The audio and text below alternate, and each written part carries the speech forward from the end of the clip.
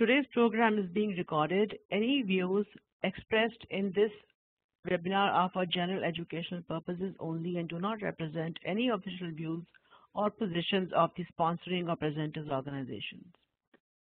Greetings and welcome to today's education program, Building Trust, Communication and Respect at Work, How to Thrive in a Multi-Generational Team Environment by Zac Jarrard and Doug Wood.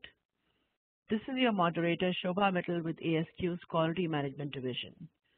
Today, we have the distinct pleasure of hearing from Zac Jarrard and Doug Wood.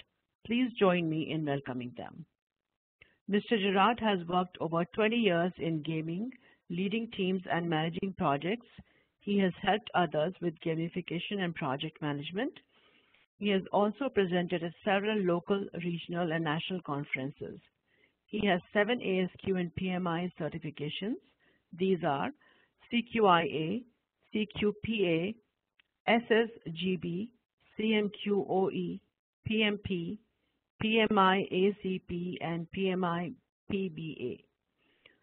Uh, Zac has published board games Zombies and Minecraft, Gamification in Higher Education by IGI Global, Building Cities, Pirate Ships, and Fighting Zombies using Minecraft to enhance online teaching by ASQ Education Division, Building Cities and Fighting Monsters, Park University's Minecraft Journey by Minecraft Education Edition.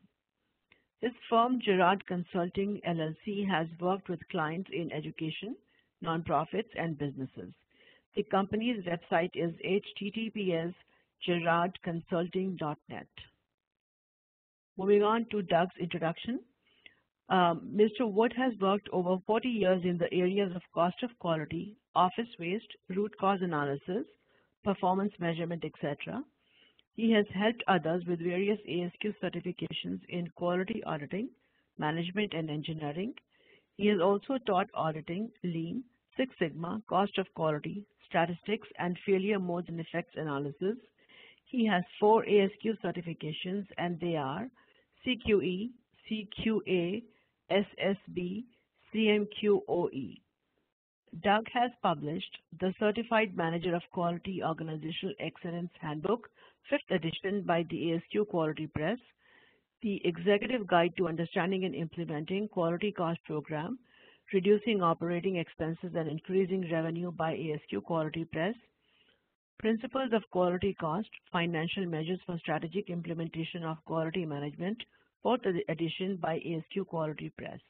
His firm, DC Wood Consulting LLC, has worked with clients in manufacturing, healthcare, and transactional businesses. The company's website is www.dcwoodsconsulting.com. And so, Without further ado, it is my pleasure to introduce Zac Jarrard and Doug Wood. Zac and Doug, the floor is yours.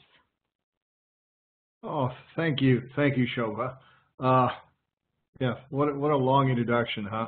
Uh, so, well, I want to say, just basically greet everybody and thank them all for being here. I am the, uh, Doug Wood is the Vice Chair uh, for Education and Webinars for ASQ's Quality Management Division.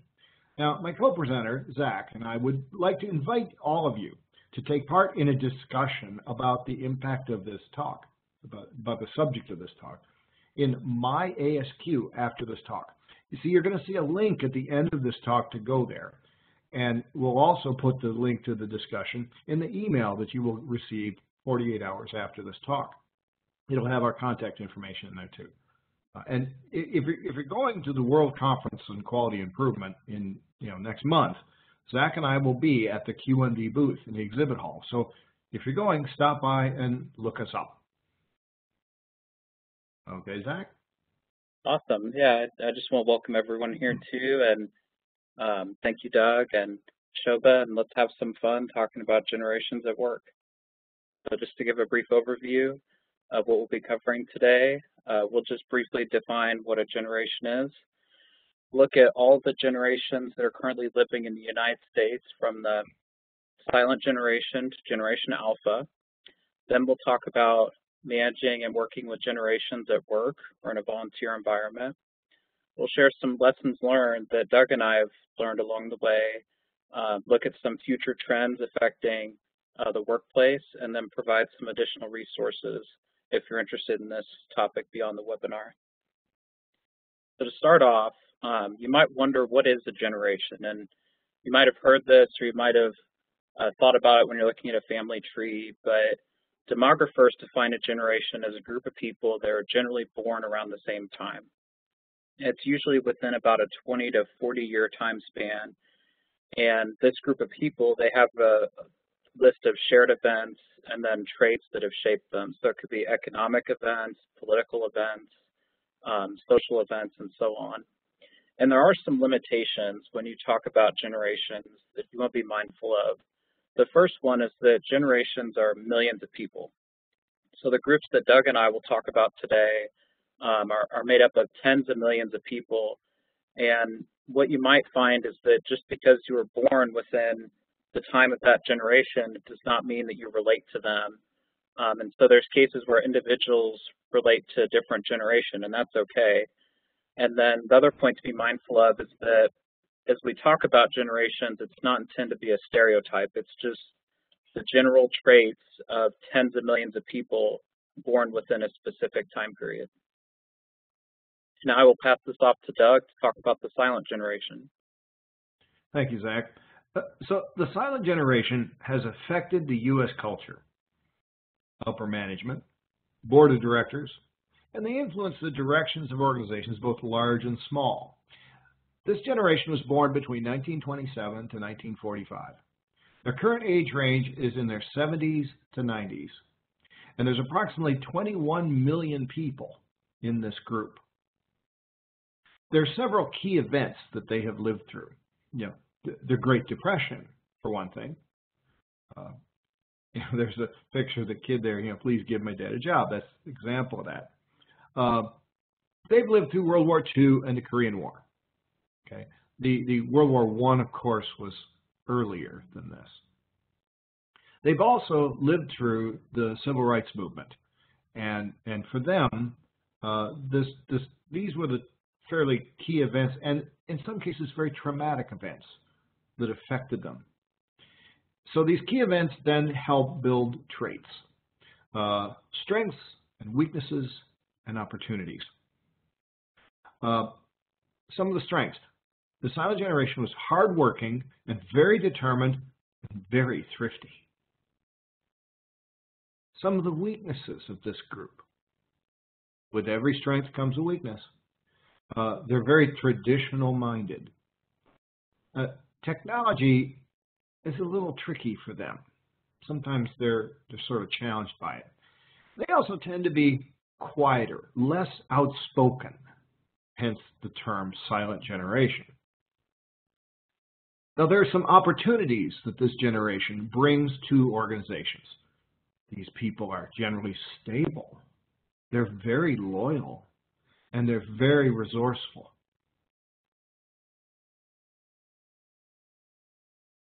So the next generation are the baby boomers, okay, uh, born between 1946 to 1964. And, and okay, this is my generation, all right. Uh, their current age range is from the 50s to the 70s. Now, there's approximately 73 million people in the boomer generation, in, in the U.S. anyway. So that makes it a relatively large, you know, chunk of people.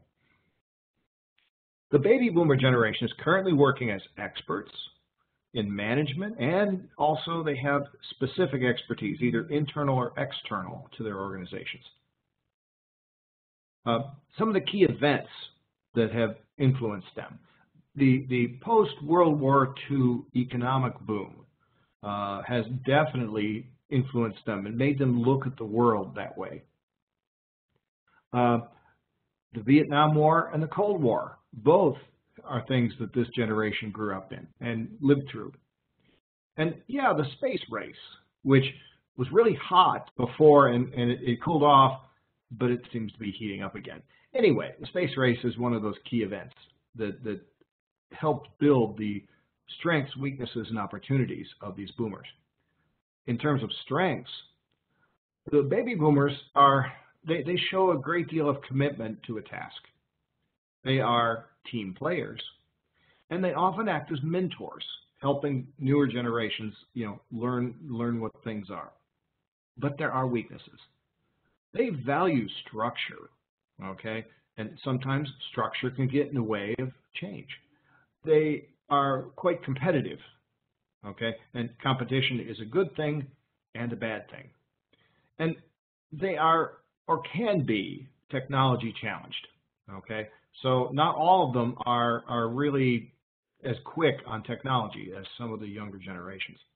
The opportunities the boomers bring are positive reinforcement. They're generally positive in their outlook, perhaps because of the economic boom. Uh, they are very hands-on oriented. Let's go and do it. And they are task oriented. They drive towards getting it done. Now, Generation X is the next one, born between 1965 and 1980. And uh, yeah, I'll, don't worry, Zac, Zac will get to talk. He does the younger generations. Um, the current age range of Gen, Gen X is 40s to 50s. And they're a little smaller, not by much though, but there's 65 million people in this generation. The Gen X today are in mid-career, and they might be working perhaps as up to a director level in an organization, or they might be working as an expert, an internal or external expert. Now, because the baby boomers lasted longer in, in the job force, Generation X was held back from being promoted at a younger age. So the Gen X are more recently become leaders. They've just recently come into positions of authority. Uh, the key events that Gen X has seen. Uh, economic instability. Okay, so that's been a thing since in, as they grew up and that does affect their outlook. The end of the Cold War and the Gulf War in its entirety also took place during their, their life. And, and they saw the widespread application of the personal computer. Uh, this, this generation uh, generally wouldn't work with that device on the screen, the typewriter, okay? Uh, personal computers have been a thing some of the traits in Gen X. Uh, they possess a strong work ethic. They're, they're really big on prioritizing first things first. And they also show a lot of respect for others. Some of the weaknesses, they do tend to be a little bit more passive. They, they value efficiency, uh, in some cases extremely so. And money has been a challenge for them. Again, back to that late promotion kind of thing, later in career promotions. The opportunities, though, the Gen X brings to the workplace, they are reliable, they are consistent, and they do value feedback when, when, when it's given to them in a positive sense. Okay, well, thank you, Doug, for looking at some of the older generations we have today. Um, now I will talk about some of the, the younger ones or up and coming. Uh, one of them being millennials, which I'm sure a lot of you have heard about. They have several nicknames, Generation Y. So after Generation X, demographers decided to just call the next generation Generation Y. Um, you might have heard the term the trophy generation. So when a lot of these kids grew up in the 80s and 90s, there was a change in parenting philosophy where uh, parents wanted to make sure all their all the kids felt included if they were on a soccer team or a sports team. And so they started this practice of giving everyone a trophy, whether they won or not, um, but just for participating. And they're also called the echo boomers. And so the time frame for this generation is, is roughly between the 80s to the early 90s. And their current age range is in uh, about their mid 20s to early 40s on the older end and it's approximately 72 million people. And some of the key events that have influenced them, so thinking of growing up in the 80s and 90s and 2000s, this generation got to live through a lot of economic prosperity, um, basically up until the 2008 recession, and then what we're seeing today with the economic fallout from the COVID pandemic.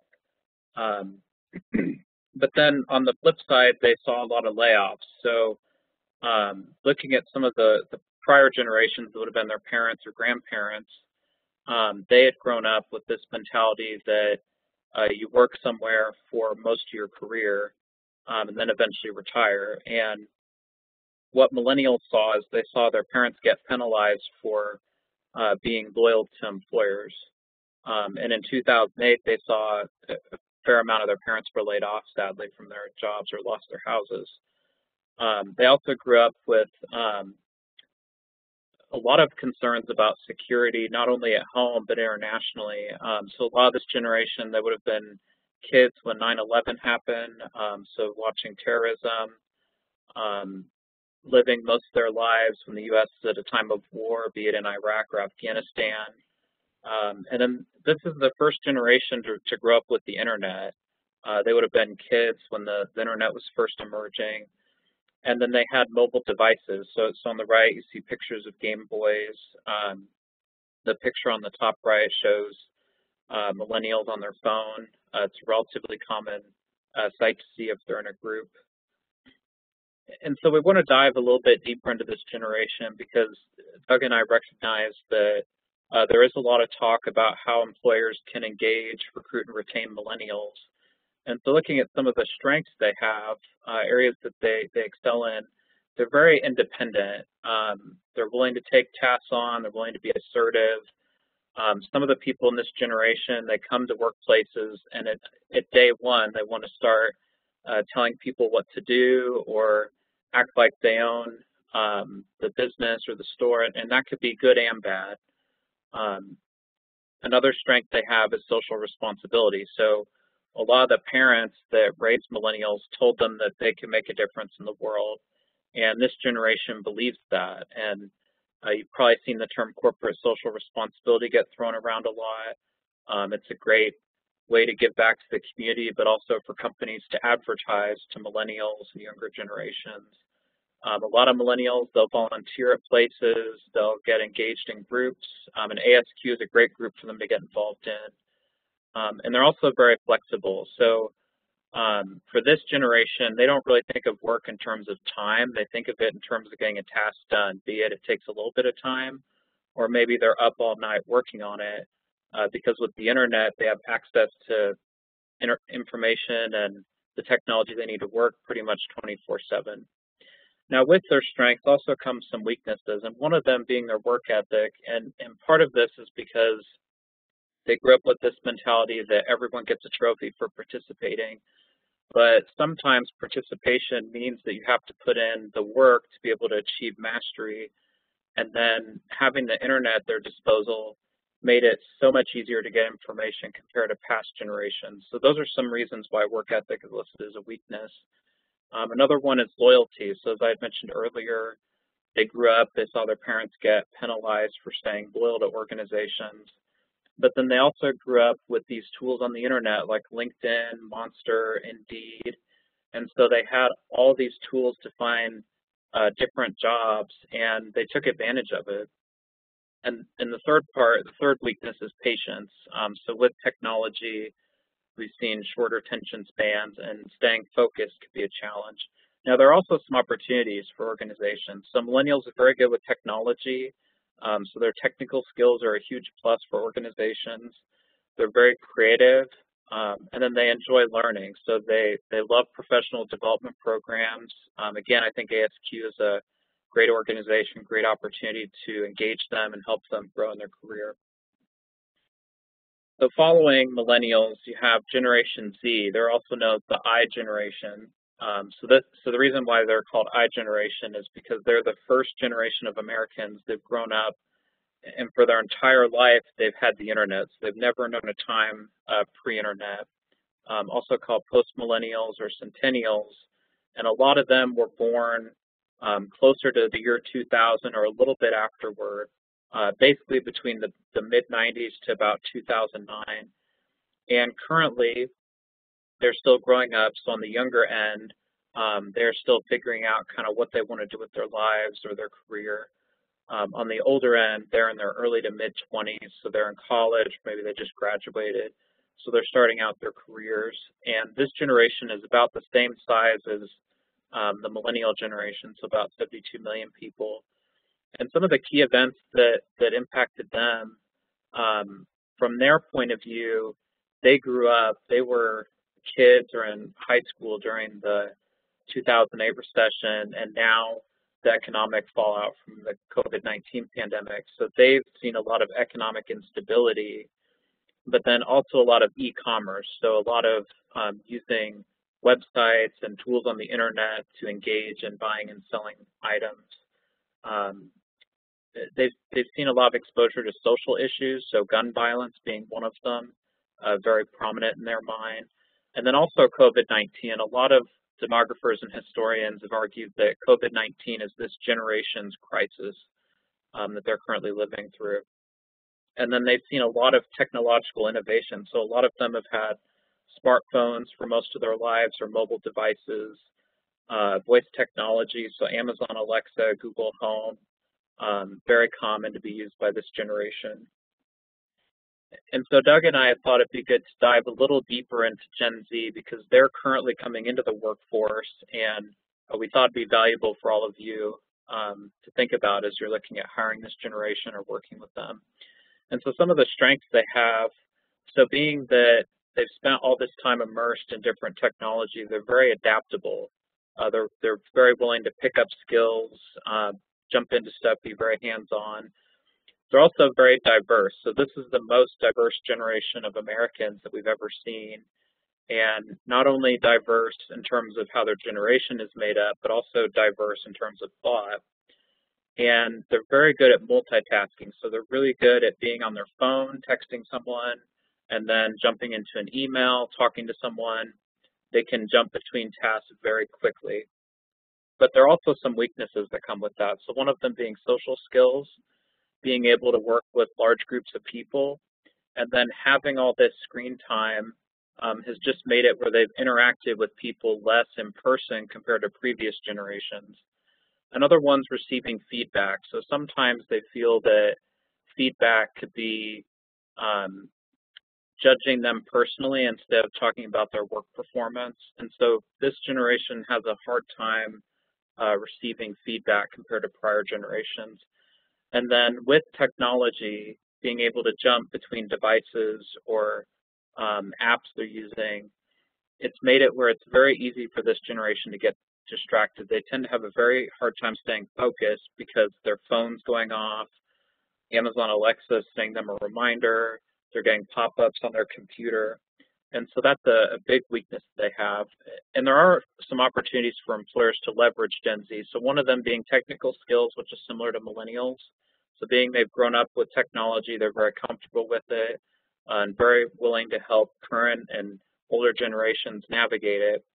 They're very realistic. So having grown up, see, seeing 2008 and then the pandemic, they've had to take this very pragmatic view of the world um, which could be very helpful on project teams or uh, looking at innovation or improving operations. And then their work ethic. So they're willing to put in the work. And for this generation, they're very entrepreneurial. So a lot of them want to go on and create their own businesses. And they're willing to put in the work for it compared to millennials. And then there's Generation Alpha, which is the newest generation on the list. Um, their nickname, so post-Generation Z, so demographers not being creative, after Generation Z, they went back to A, and this generation is being born today, and, and, this would actually be Doug's grandkids. Um, so the earliest time would be about 2010 um, up until about 2025 or into the 2030s.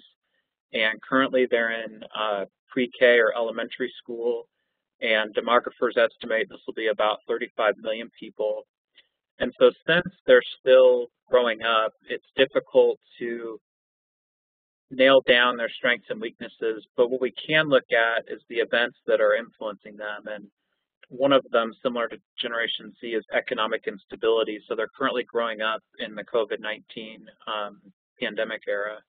And then also the gig economy. So seeing um, uh, apps like Uber, um, so the sharing economy, sort of this reemergence of cottage industry with a lot of people creating their own businesses, going out on their own. Um, automation is another big factor that they'll they'll grow up with related to the economy. uh, but then also social justice reform. So they've grown up seeing some of the uh, protests that happened during COVID-19 about um, making positive change in communities um, and civil rights. And then also the COVID-19 pandemic, so having lived through that. And then technological innovation. And, and for, for a lot of these kids, one of the first words they're saying is Alexa um, in reference to an Amazon Alexa device. And not only uh, voice technology, but also um, looking at self-driving cars, robotics, uh, cryptocurrency, so all, all this technological innovation that will shape this generation. And so talking about generations in the workplace, um, regardless of the generation, Doug and I found that there are shared goals across all generations. One of them being that everyone wants to be able to achieve professional success. They want to be excited about where they work at. They want to um, earn certifications, be it through ASQ or other organizations, and then grow in their career. And then also make meaningful connections, so grow their network, develop new friendships, uh, make meaningful relationships that they'll carry on throughout their career and maybe afterward. And there's a lot of opportunities, and, and being that we're ASQ, talking about the quality field, um, it provides the opportunity to work in a challenging, complex environment. They can grow into leadership roles, and they can add value to the bottom line and customers. And it goes to say that quality is more than just statistics or just looking at numbers or manufacturing. If we think about it, regardless of industry, we all have to develop a working product that people could use and that could help them. And so um, looking at generations and working in a quality environment, it takes more than numbers. It takes leadership, it takes emotional intelligence, it takes being able to work with a diverse group of stakeholders and then working together to achieve shared goals. And I think that's where the quality field stands out uh, for all generations. And now I will pass it back to Doug to talk about motivation. Thank you, Zac. Um, so we're talking here about some universal universalities, okay? Uh, gaining motivation. Um, some of what we've talked about here is more U.S. centric, okay? I mean, that that's where Zac and I live, and that is what we can we can research most easily. What some of what we've said before may not apply in other cultures. Just keep that in mind. But motivation is is a issue. It's a big one. We need, people need to be motivated, and there's plenty of uh, noise in the air over, you know, why aren't these new generations being motivated? Well, uh, Motivation has been a challenge for every generation. Daniel Pink created a framework on motivation using these three words, purpose, mastery, and autonomy. Okay? Purpose is why are we doing it? What's the reason for this job? What's the reason? What are we trying to do? And as it says, this is more important to millennials and the Generation Z than some of the others. Autonomy. Daniel Pink means giving people the space and tools to do the work, to grow and learn, to create new ideas. Providing autonomy is a key piece of motivation, and I'm sure that you have felt more motivated when you had you knew why you were doing it and you had the space to do it in. Now, this tends to be a little bit more important for Generation X and millennials. And the third piece that Pink says is mastery. And this doesn't mean that you have it. This means you have the resources to master it. If, if someone is standing in the way and not allowing you to have the resources to learn what you need to learn, then that's going to affect your motivation. But if you have the resources to gain mastery and you have the autonomy to do the work and you know why you're doing it, okay, then you can be motivated to. This one tends to be a little bit more important to the silent generation and to the baby boomers. Uh, the, the, the thing is, those are drivers of motivation. Those three interconnect, okay, and they help build a better work group. Even though each generation has slightly different values, purpose, mastery, and autonomy work together to, to build to build uh, the motivation in the, in the group. Now, there are some tools that we can use to kind of build trust, improve communication, and encourage respect between generations in the workplace. The affinity diagram or affinity process is a tool that's not only useful in brainstorming ideas, but to organize them for use. You know, you have the ideas on post-it notes, and you then arrange them. And the groupings of the ideas is based on the content of the ideas themselves, not according to some preconceived plan. That is a, it's a great tool to organize the thoughts coming out of brainstorming. A force field analysis is another tool that may be used to help with communication. Mainly, it's used to counter negative ideas and drive change. In the force field analysis, the negative ideas are written on one side of a vertical line, perhaps on, on a flip chart. And the positive phrases are listed on the other side of the line. So here's some examples, okay? Uh, a negative one, they never listen to us. What's a positive opposite to that? Okay, well, repetition is key. That's a positive statement. Or a negative one. We tried that and it didn't work. Sure you've heard that. What, what's a positive piece of that one? Well, well, that was then and this is now. That, that's a statement you can make to bring people back around to looking at change. And one of my favorites is, if it isn't broke, don't fix it. The positive opposite to that one is, well, every method can be improved.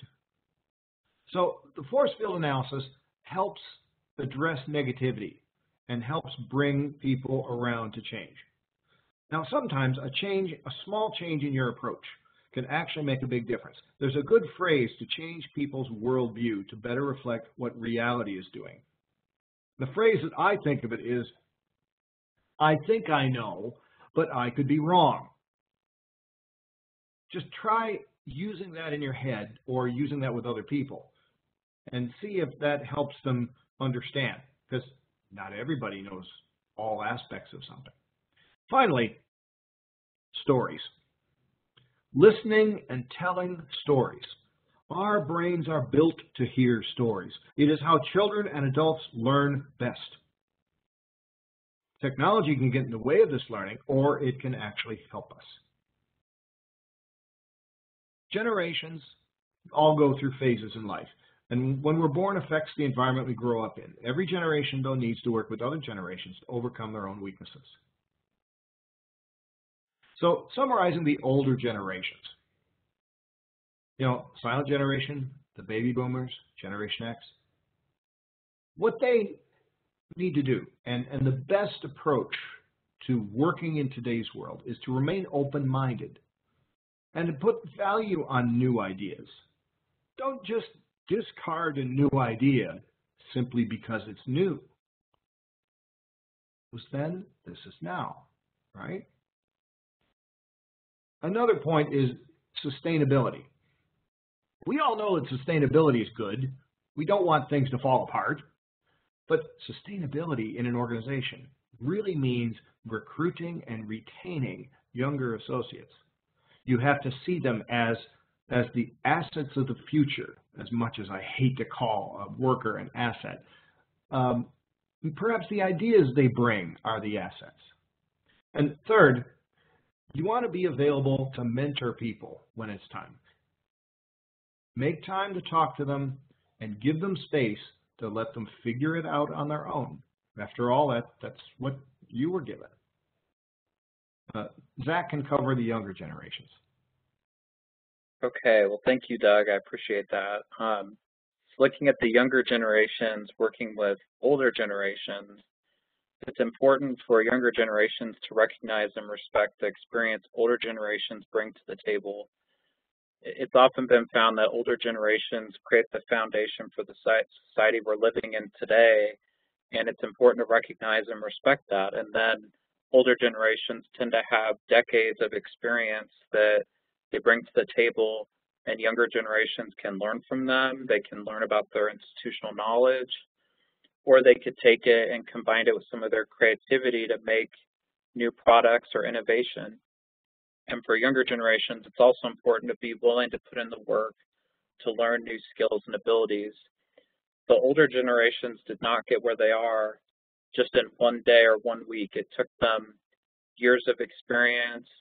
They spent a lot of time learning to get certifications, sitting for the hours to apply for stuff, uh, advancing in their careers. And so younger generations have got to be able to put in that kind of work as well um, if they want to be successful today and in the future. And then invite collaboration. So look at working with older generations as an opportunity to merge their experience with new creative ideas. And really, I find that's a sweet spot for organizations and, and for younger generations having their technical skills, merging that with experience can create an endless amount of possibilities for everyone.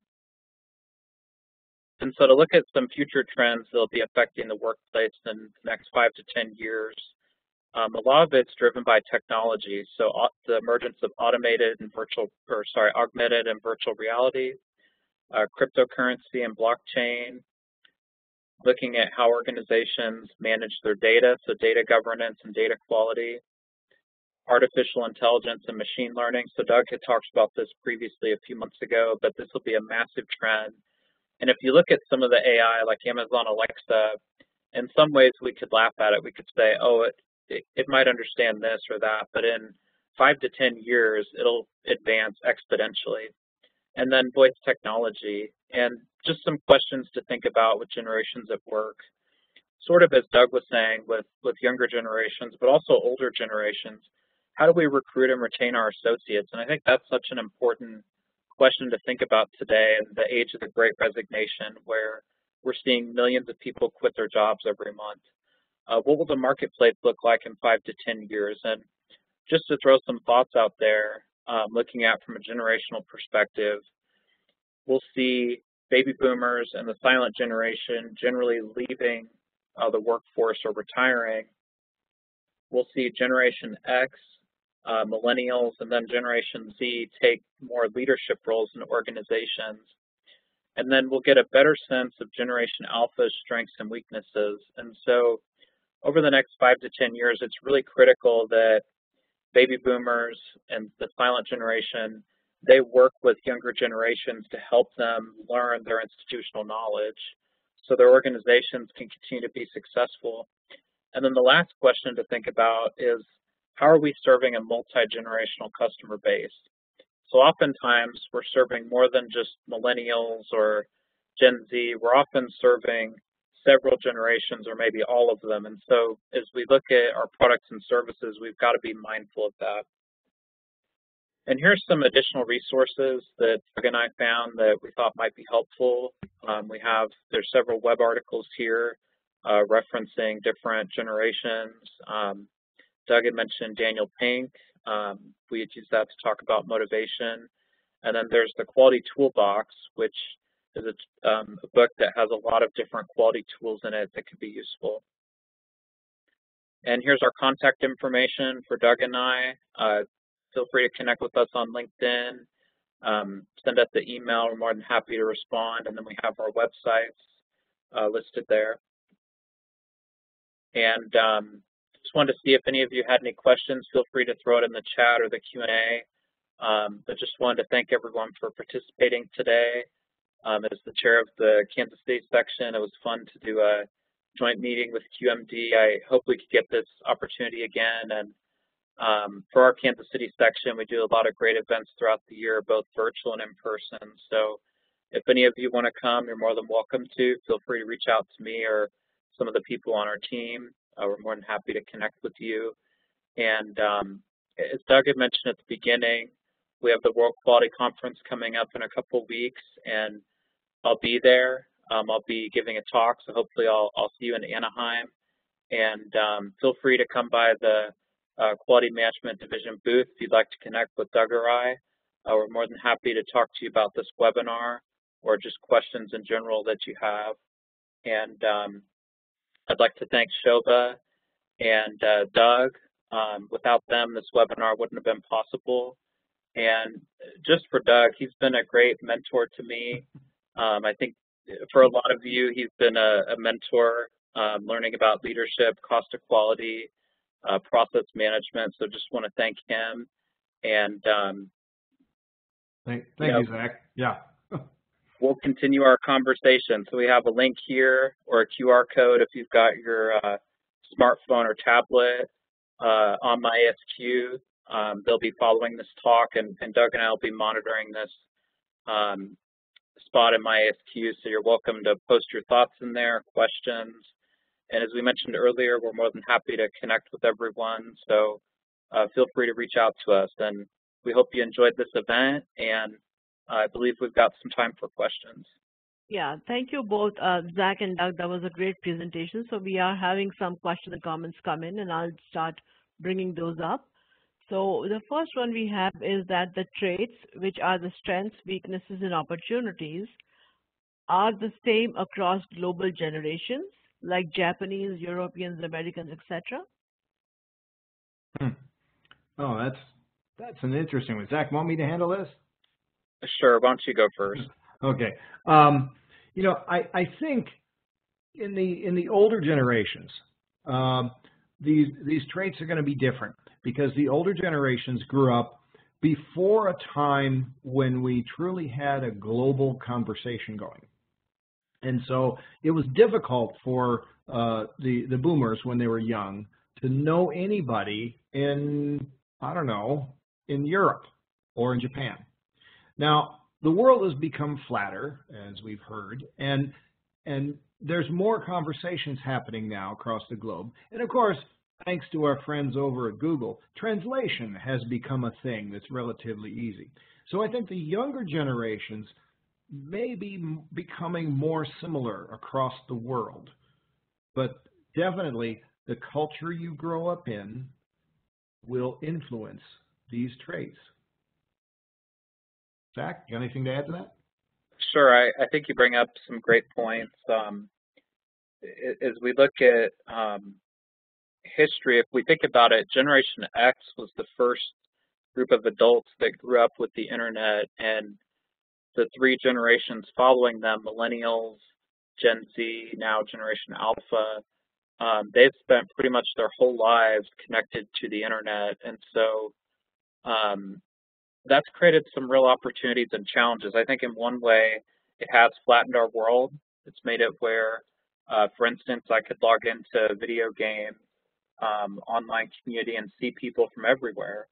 Um, so it's made connectivity a whole lot easier. But then at the same time, it's brought challenges with it. Um, one of them, um, you know, that we started to see with millennials, but that's still prevalent with Gen Z and Generation Alpha is cyberbullying um, where if you know bullying doesn't just happen in one place, it could it could you know people could know about across the world, um, and then knowing who you know your kids or, or young adults are engaging with because they might have friends online that they've never met in person. Um, but but I think it, as Doug was saying to some extent, um, I think regardless of the country, there's a shared context that um, everyone grows up in. There's global economic, political, and social events that happen. But within each country, they still have their own unique culture, regardless of how advanced the internet is or globalization. Um, so the generational cultures might be a little different country by country, but um, that global context still stays the same. And, and for our talk, we've mostly focused on the U.S., but um, I'm sure you'd see some shared traits across these generations uh, outside the U.S. Okay, thank you. Moving on to the uh, second question. In your opinion, what is the biggest challenge to create empathy among the silent X, Y, Z baby boomers and the alpha gens? Hmm.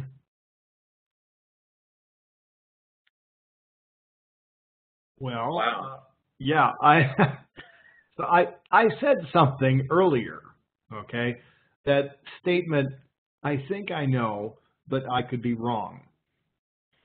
That, that mental phrase tends to open a person's point of view up. Uh, and, and I think especially those of us who have lived a long time, seen a lot of stuff, and have built a, a, a very, a, a pretty accurate picture of the world in our head sometimes we forget that it's not the real world, that what we think is going on could be wrong. We've come to trust our mental picture, but maybe we're making a mistake doing that. And I think that's the that's where it begins. That's where it begins to you, you begin to listen when you think that, well, I could be wrong here. Zac, what what do you think about that? Where does that go with with the younger generation? Hmm. Well, it, it's a really interesting question. Um, I would say, regardless of, of generation, I, I think it creates the opportunity um, to get out and, and really get to know people from different backgrounds. I, I think sometimes we get siloed within our own generations. Um, uh, like some people only hang out with people closer to their age um, or people from their generation. And, uh, you know, myself, for instance, I, I grew up in um, uh, Boy Scouts, and so I interacted with adult leaders. I interacted a lot with Generation Z and Alpha, and I found it really enriching. And and so I think looking at it um, from kind of a, I guess, a work or volunteer standpoint, um, you, you know, get out there and have those conversations. Talk to your older workers. Talk to to younger workers. I think there's a lot of value from intergenerational communication. And I think as you get to know people from different generations and backgrounds, you start to realize that a lot of us are the same. And as, I had talked about earlier, um, regardless of generation, their shared goals. All of us want to be successful to some extent. We want to have meaningful connections. We want to have fun. We want to do stuff we enjoy.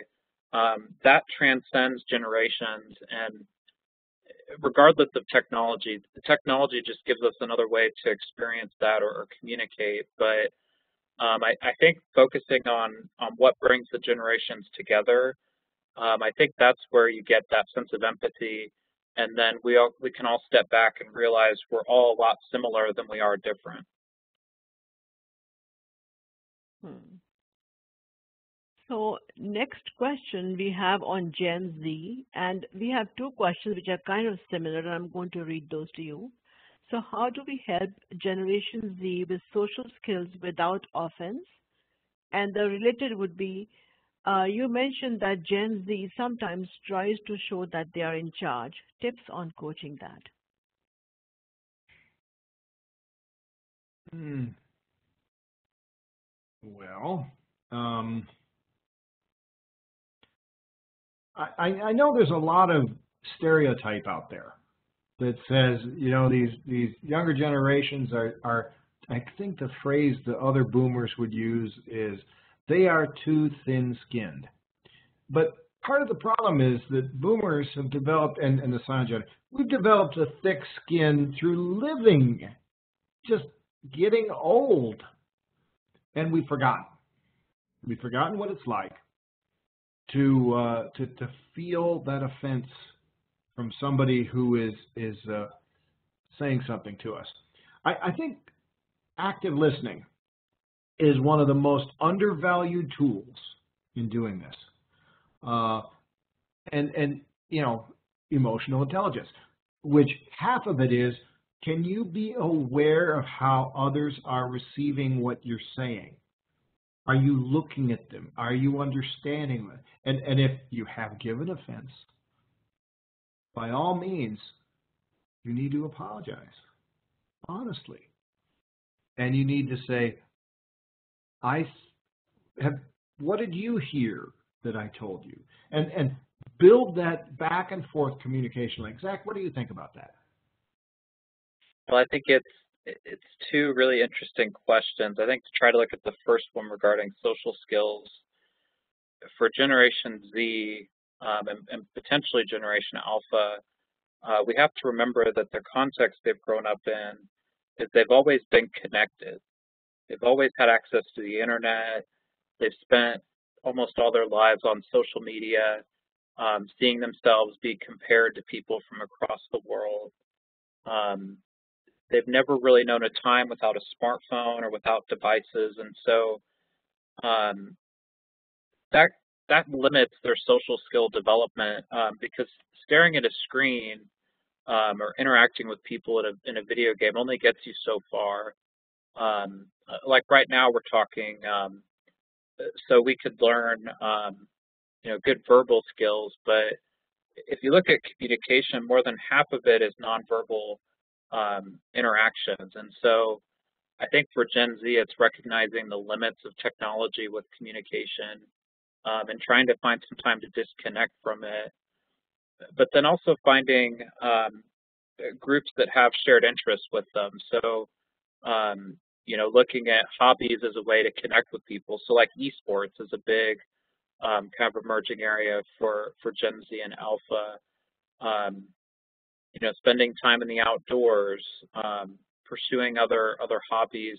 For older people in Generation Z, getting out and going to networking events, um, and then joining organizations like my ASQ. I, I think, to be frank, um, I think ASQ is is a um, you know it's a it's a valuable gem. I think for uh, younger generations, for millennials, Gen Z, Alpha, and you know future generations, because my experience is that it's been a great group of people that generally want to help each other. Um, you can get certified and grow, and so I I think professional organizations like ASQ are in a great position to connect with these generations, um, especially Gen Z.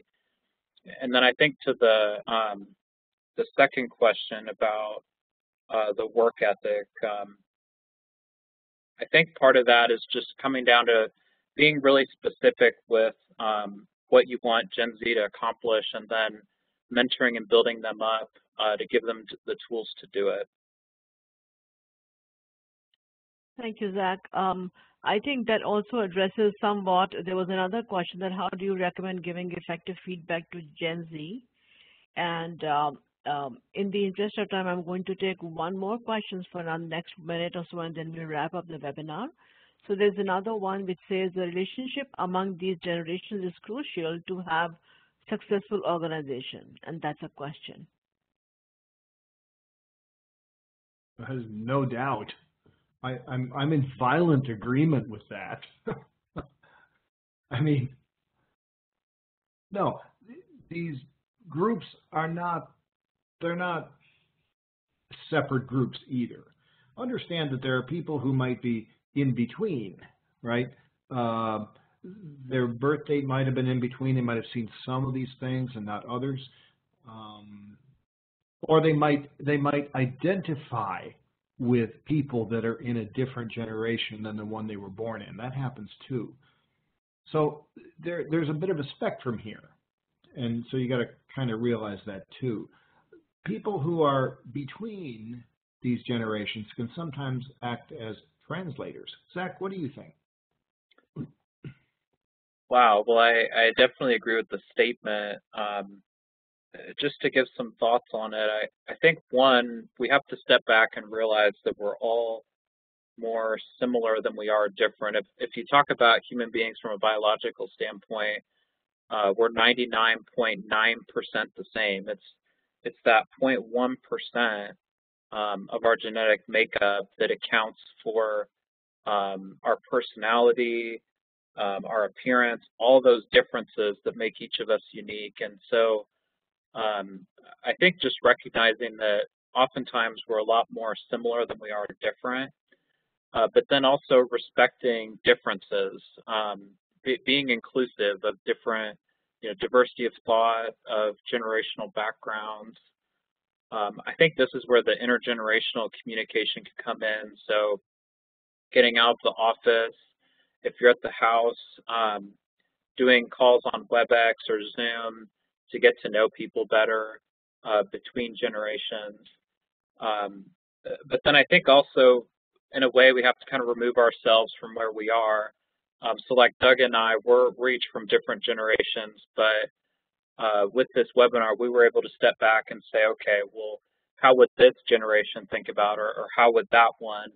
Um, so I think getting out of kind of our comfort zone and really just getting to know people and what motivates them, I think that's what will help organizations be successful. And I think a lot of what we see in, in the Great Resignation today is kind of a disconnect with that, that there's an assumption the old way that people were motivated and engaged at work um, could still apply today. And, and I think in reality, we've seen a lot of that upended or altered um, because the world we live in is not what it was three years ago. And um, I think as each generation comes along, organizations have to adapt to it. And if they're not able to, then it, it creates challenges and makes it difficult for them to have a good future.